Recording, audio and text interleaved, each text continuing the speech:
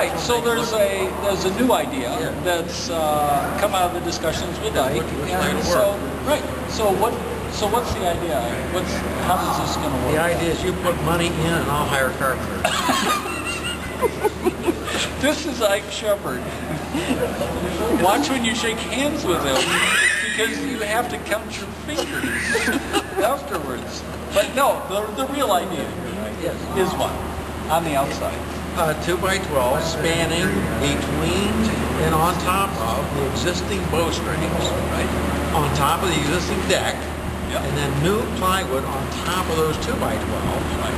after insulating between the two by 12s, and then new roofing, roofing membrane on top of the plywood. Right. So the interesting thing is that then becomes the roof, Yes, and the historic roof becomes a false roof. That, that's right. You the still see it from underneath.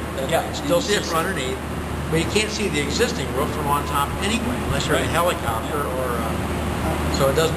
The appearance of the outside is not going to change. It's going to be 12 inches higher. But it's going to look exactly the way it does now. Right. And when he was talking about the helicopter, I was thinking that this may be the third and final way to die. We've, had ice mix, we've had falling roof, and then I thought it was the helicopter. Was Well, and we we had the senior swings there. Not those. The senior swings.